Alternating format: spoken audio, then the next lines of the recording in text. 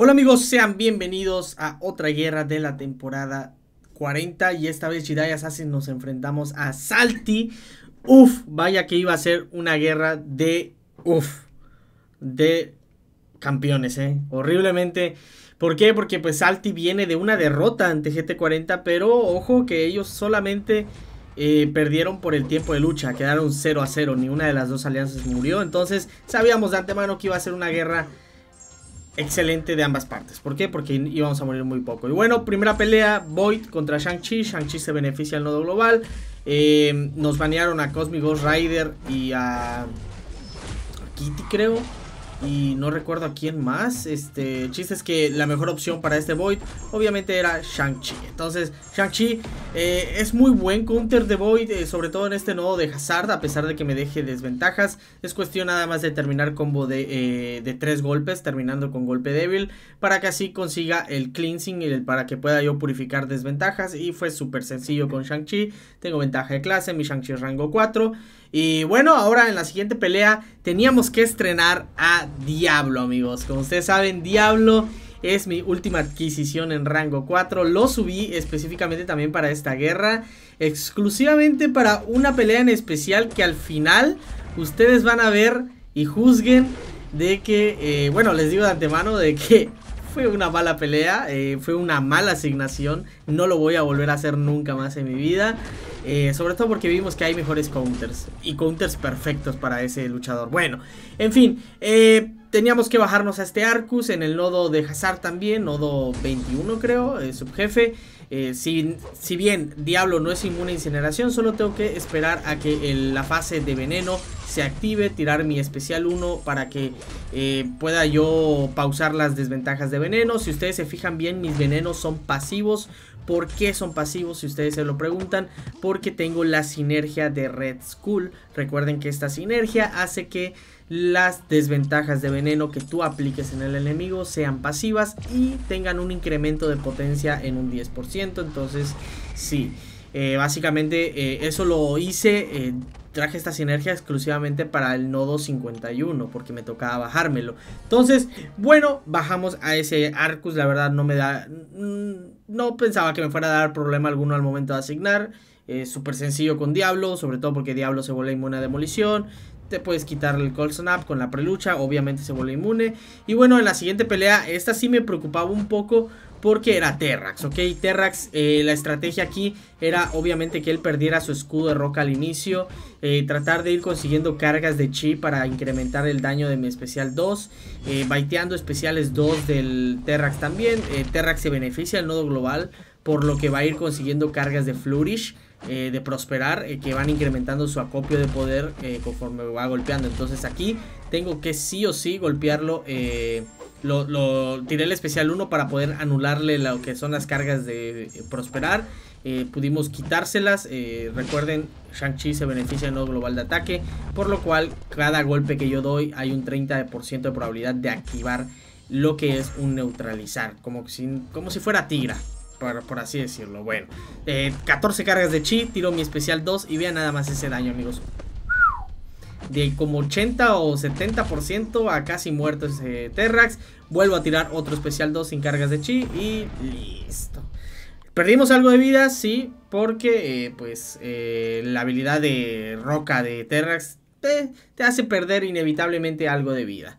Y bueno, ahora en la siguiente pelea activamos la prelucha de anular eh, para que podamos quitarle de vez en cuando un poco de cargas de furia, bueno, se las podamos anular. Recuerden que cada vez que entras en el modo de filósofo con diablo, vas a poder anularle desventajas al enemigo. Entonces, en dado caso que yo no interceptara, pues podíamos anularle. Entonces, aquí nada más estaba yo tratando de mantener las desventajas de veneno activas para que eh, se pausaran eh, con el especial 1. Aquí no intenté eludir completamente el especial.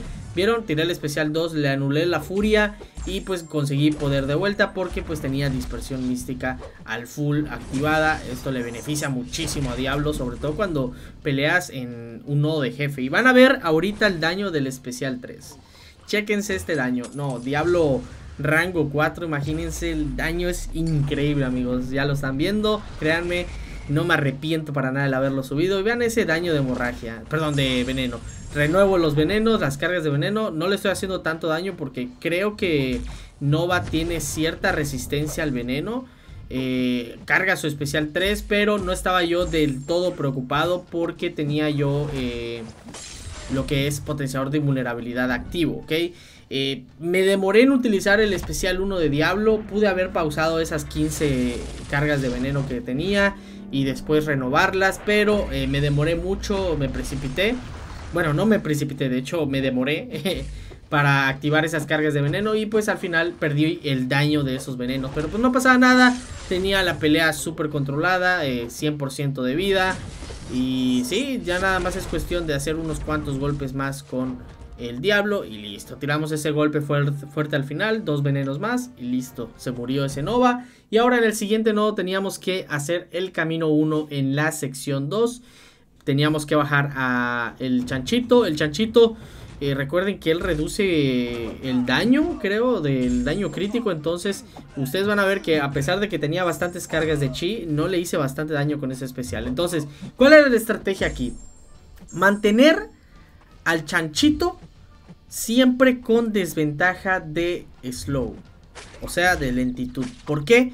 Para que así eh, no me eluda. ¿Por qué? Porque como mi plan es hacer especial 2, obviamente va a conseguir sus eh, cargas de chanchito, sus sentidos arácnidos, que le incrementan la resistencia, le incrementan el daño, sus, su eludir, etcétera, etcétera. ¿Qué es lo que hace que el chanchito sea muy temible y muy complicado de derrotar como defensor. Entonces, Shang-Chi es un luchador muy bueno para este chanchito independientemente del nodo. Solamente tienes que hacer doble golpe medio para renovar la lentitud cada vez que renueves. Y pues sí, eh, estaba yo tratando de no eludir tanto, eh, bueno, dos veces seguidas para no activarle esa regeneración que consigue en el nodo. Y aquí tiro mi especial 2 y digo, bueno, yo creo que en esta se muere porque en el primer especial 2 ya vieron que no se murió. Eh, le quité algo de vida, pero se curaba un poco porque estaba eludiendo mucho. Y listo, ahora sí. Nos tocaba la mole, amigos. La mole, eh, si se preguntaban que le iba a dar con Shang-Chi, no, le voy a dar con Diablo. Porque Diablo es, uno, es un counternato de, de la mole, a pesar de que eh, la mole puede llegar a conseguir su imparable con 15 cargas de roca, solamente tienes que estar pendiente de eso, ¿ok? No estaba yo preocupado por el nodo de Buffett, solamente tenía yo que estar seguro de no eh, eludir para que no consiguiera esa regeneración. Y bueno, vieron, pausé los venenos eh, justamente antes de que se quitara. Y vean nada más cómo se está muriendo con puro veneno. Tira especial 2 el, la mole, no pasa nada, no se va a curar prácticamente nada tampoco de esa regeneración. Vuelvo a pausar los venenos, 8 para poder renovarlos nuevamente. Y listo, vámonos, 10 venenos. Vean cómo se va muriendo esa mole poquito a poquito. Vuelvo a pausar los venenos. 9 tiene ahora. Listo. Y podía seguir, ¿eh? Podía seguir. Se murió esa mole sin problema alguno, menos de un minuto. Increíble, amigos. Increíble el daño que puede llegar a hacer Diablo. Y ahora sí, chavos. La última pelea. Gore en el nodo 51. Por favor, esto, amigos, no es apto para cardíacos. ¿Qué pelea más tensa? Ok, bueno, les voy a explicar. El problema es que yo me mandé con prelucha de Magneto Blanco, pero me había olvidado que Diablo es villano y no es metal. Por lo tanto, la prelucha de Magneto Blanco no va a servir. Me puse maestrías suicidas de veneno para que incremente yo el daño de mis venenos. Y pues tenga un poco de, de, healing, o sea, de que me vaya yo a curar por la voluntad. Entonces aquí vieron que consiguió su especial 2 y yo así de que no puede ser tíralo, eludo la primera parte, bloqueo la segunda parte, me dejo un alto voltaje y aquí ahorita hago parada y vieron, wow, wow, wow, wow. Si ustedes se preguntan por qué consiguió instantáneamente el especial 3, es porque como tenía 6 cargas de prosperar del nodo global, automáticamente el acopio de poder se potenció. Entonces consiguió instantáneamente su especial. Tiré mi especial 2, le anulé las ventajas de prosperar junto con las ventajas que él tenía, por lo tanto conseguí de ese especial 2 un poco más el daño también, el especial 3 por la dispersión mística porque también la tenía activa y tiramos el especial 3. Afortunadamente ese especial 3 que él me tiró no me mató. Por lo tanto sobrevivimos de pura chiripa amigos. Yo en este momento estaba en mi chat. Porque el line lo tengo abierto en la PC. Le digo creo que voy a morir. Le dije a mis compañeros creo que estoy muerto. Pero sobrevivimos. Y vean nada más qué tan cerrada estuvo esta guerra amigos. Eh, sí, ganamos nuevamente la guerra. Eh, Salty cometió dos errores. Yo creo que los baneos que le aplicamos a esta alianza fue, eh, fue clave porque de hecho murieron contra un Ebony Mau y contra un Longshot nada más. Y sí, wow, eh, fue, fue, fue increíblemente cerrada esta guerra y la única baja de hecho que nosotros tuvimos fue en mi grupo y fue con un counter perfecto. Imagínense, una antorcha humana rango 4 se murió con un Ebony Mau. Así es, difícil de creer.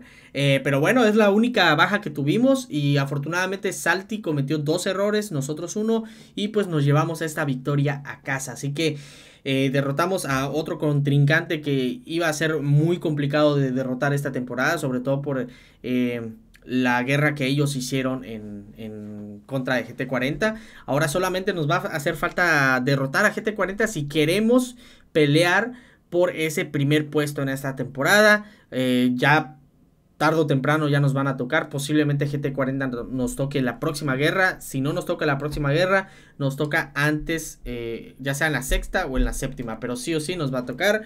Así que inevitablemente tenemos que enfrentarnos y eso, dependiendo del resultado que tengamos, va a dictaminar qué alianza se queda con el primer puesto. Y ojo, que GT40 están muy fuertes, ¿eh? creo que llevan tres guerras seguidas con cero bajas, imagínense, que incluso nosotros terminando con una baja podría no ser eh, suficiente para derrotarlos, así que hay que tratar, tratar de no cometer ningún solo error, ser perfectos, es muy complicado, pero pues vamos a ver cómo nos va.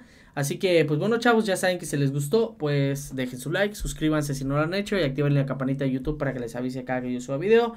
Y ahora sí, chavos, por cierto, les aviso, no va a haber video en la cuenta secundaria de la guerra, de esta guerra.